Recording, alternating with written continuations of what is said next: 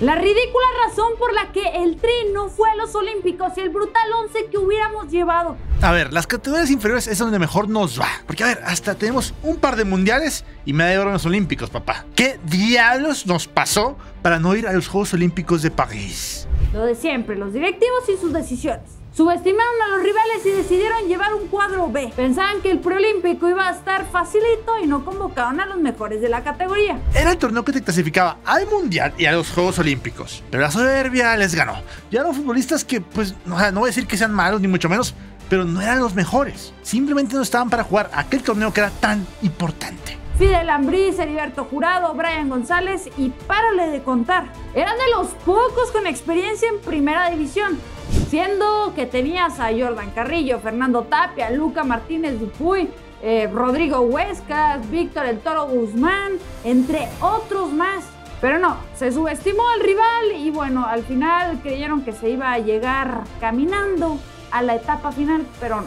Y gracias a esa decisión tan mala, México cayó ante Guatemala en penales, dejando ir la oportunidad de hacer historia de nuevo como en el 2002. Y se los digo, a los ojos gambeteros, teníamos equipo para pelear el oro, mínimo una platita, mínimo. Vamos a hacer un ejercicio y veamos cuál hubiera sido la selección que en estos momentos estaría compitiendo en París. En la portería tendríamos a Fernando Tapia, portero muy seguro que en el All-Star Game contra la MLS hizo muy buenas atajadas. Vamos con una línea de cuatro en defensa. Por izquierda nos traemos a Jonathan Gómez de la Real Sociedad y de paso lo convencemos de jugar con México y olvidarse de Estados Unidos. En la central nos traemos como refuerzos a Johan Vázquez y que juegue junto a César Montes, porque recordemos que las Olimpiadas puedes llevar tres refuerzos. Defensa sólida, fuerte, de lo poco bueno que tuvimos en Copa América. Y por derecha a Julián Araujo desde Barcelona. Todavía en la banca podríamos tener al Chiquete, Ramón Juárez, el Toro Guzmán, hay defensas para aventar para arriba, señores. En el medio ponemos a dos futbolistas y que llegue el tercer refuerzo. Imagínense un medio campo con Marcel Ruiz y Chiquito Sánchez. Adelantito de ellos como medio ofensivo puede jugar sin problemas Andrés Montaño. Y encima de eso, tanto Montaño como Chiquito Sánchez podrían intercambiar posición si es necesario durante el partido.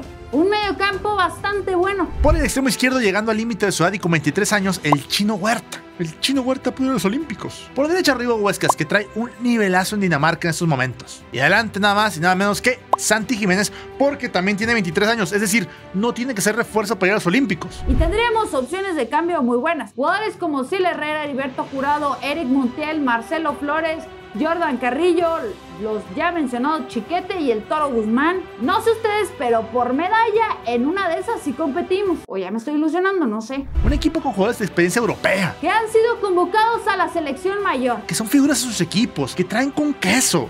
Pero bueno, los directivos decidieron echar a perder esta oportunidad de una medalla olímpica en el fútbol y nosotros nos perdimos de lo que pudo haber sido este 11.